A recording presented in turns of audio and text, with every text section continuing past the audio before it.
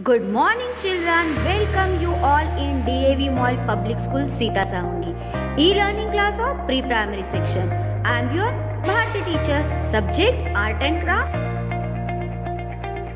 And today we will make our national flag. So, children, we need for our activity satin ribbon with different color orange and green. Orange and green. Fevicol, pencil, satin ribbon thermocol,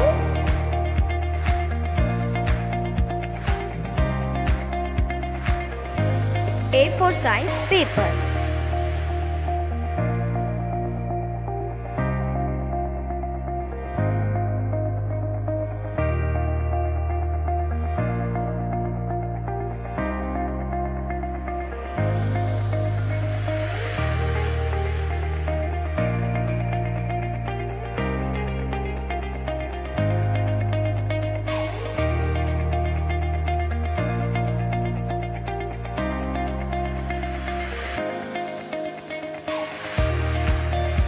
Cut the satin ribbon with the help of your parents. Please don't use scissor.